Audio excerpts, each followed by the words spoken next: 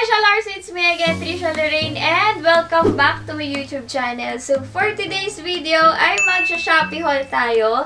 Alam niyo naman, di ba, na nag-ECQ, tapos nag-MCQ pa, so hindi tayo pwede lumabas. Tayo mga bawal lumabas, mga buntes.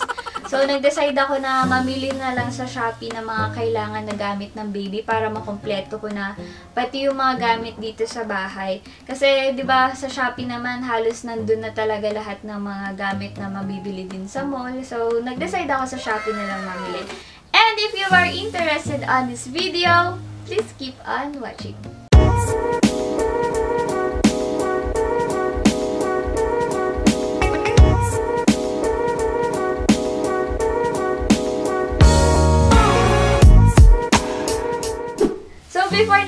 I-unbox yung mga pinamili ko sa Shopee, papakita ko muna sa inyo kung gaano karami siya. Ayan. Ayan siya. Yung iba malalaki. Ayan. Tapos, ayan, meron pa dito. Ayan. Ganyan siya karami.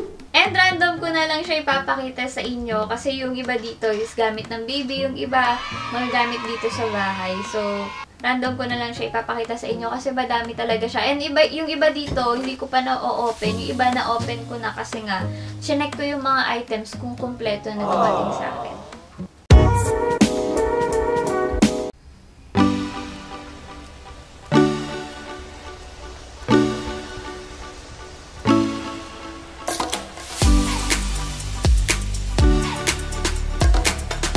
A few minutes later.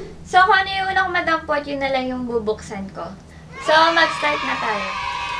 First item na nabili ko sa Shopee. So, yan. Unbox natin siya. Ano lang natin.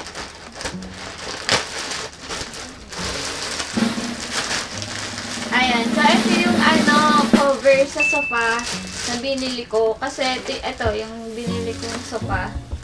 'di ba plain na green lang siya. Kaya lang kasi minsan, syempre may si Georgina lumalaki na.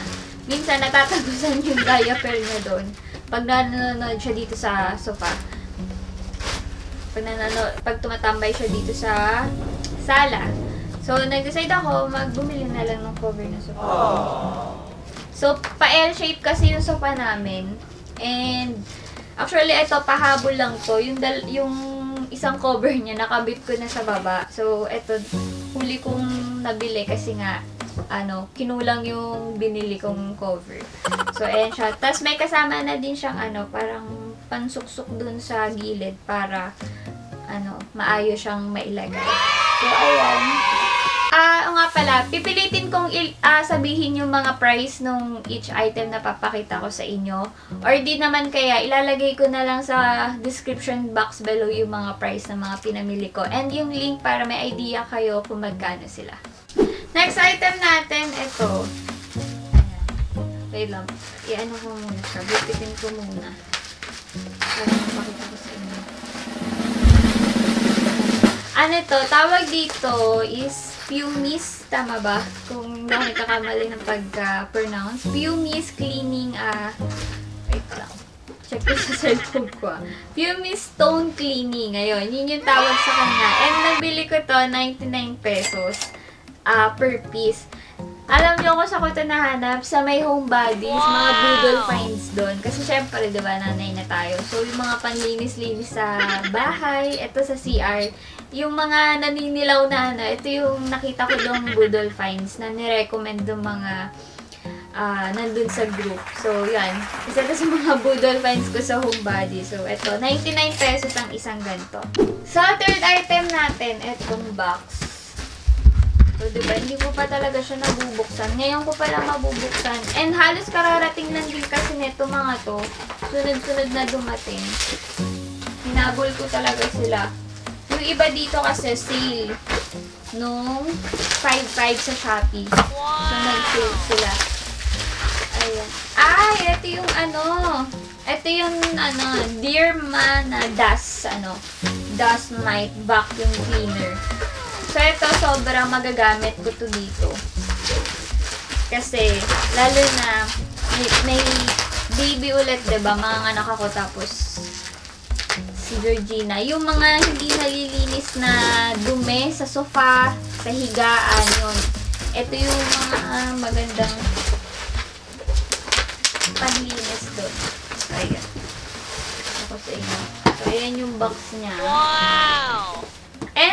Ano to ha, sale ko to nabili, parang nasa 999 ata or 1,000 something, 1,099 ko nabili to sa Shopee. And super, ano na ito, magagamit ko to. Kasi nga, pantanggal ng mga surot sa higaan. So. Pakita ko lang sa inyo yung loob.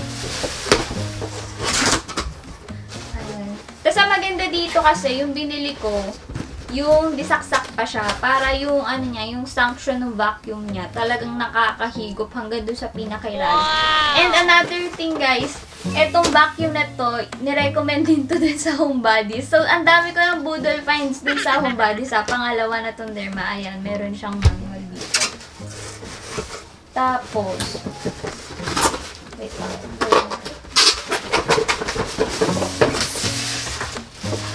Siya, ganyan siya kalaki. Wow! Ayan.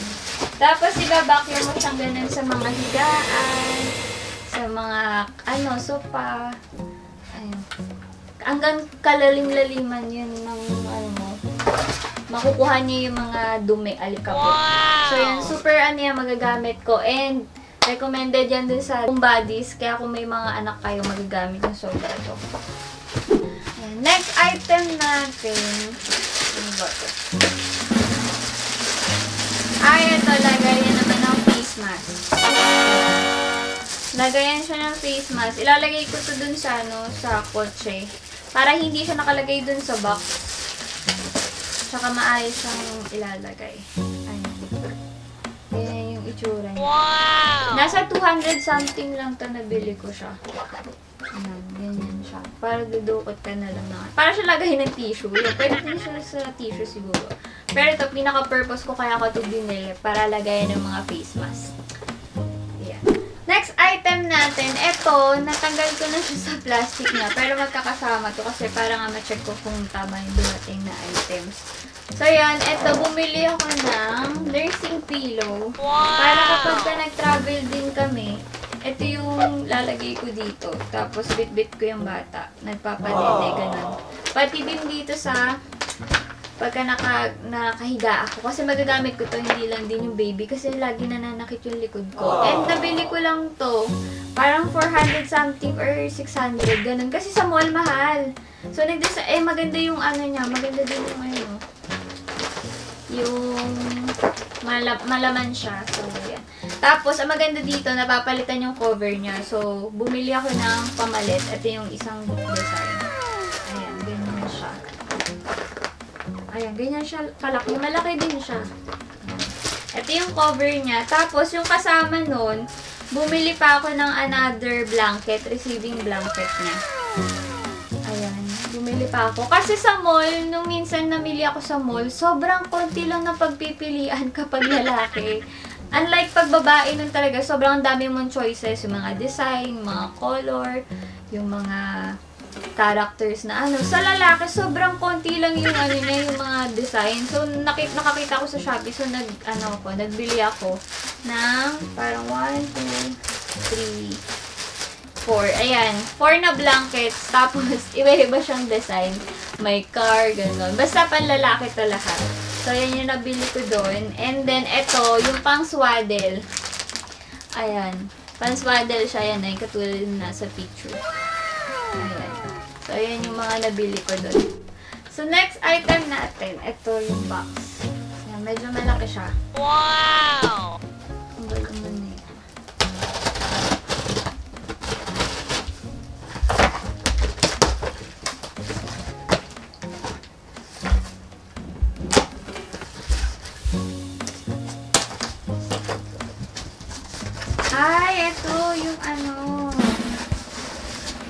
Lagayan ng bottle ng baby.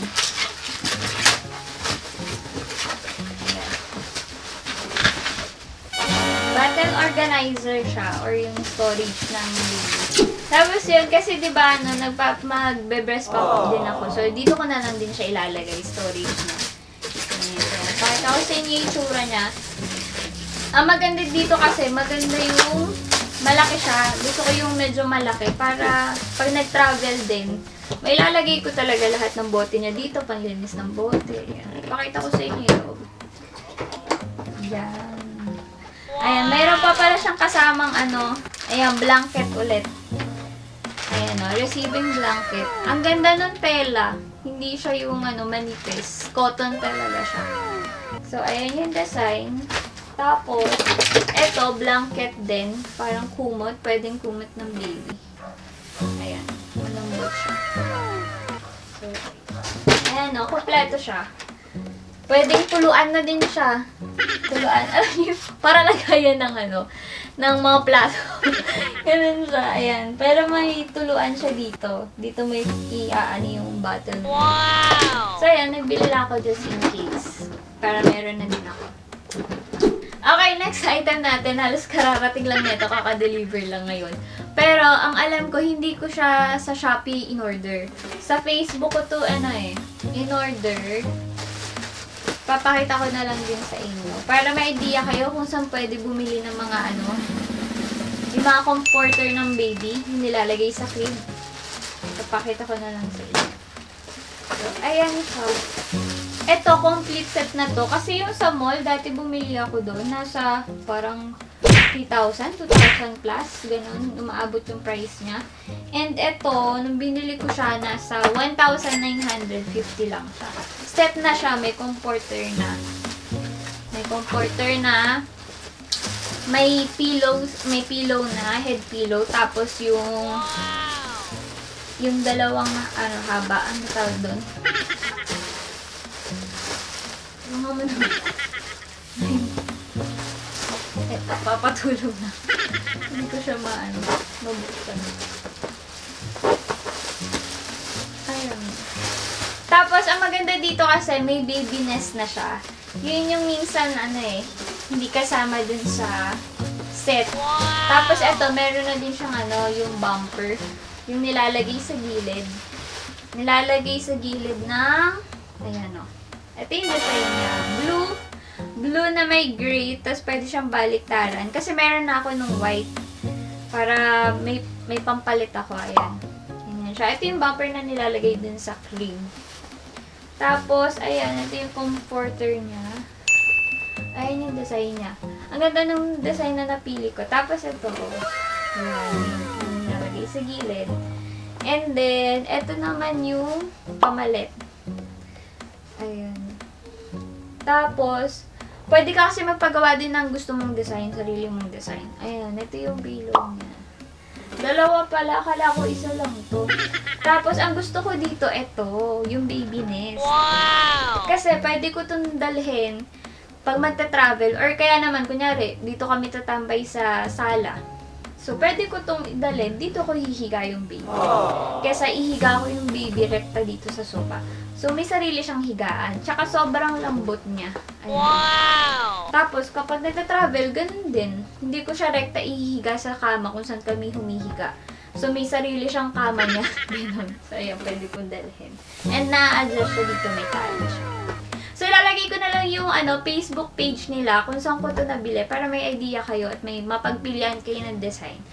So, ayan. Okay, next item natin. Ito. Ay, ito yung ano, mosquito net. Ayun na, yung nilalagay dun sa, nakita niyo ba? Yung nilalagay dun sa ano ng crib.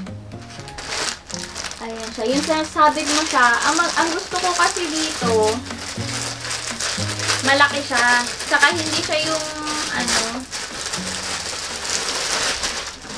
hindi siya yung parang manip, sobrang nipis na ano.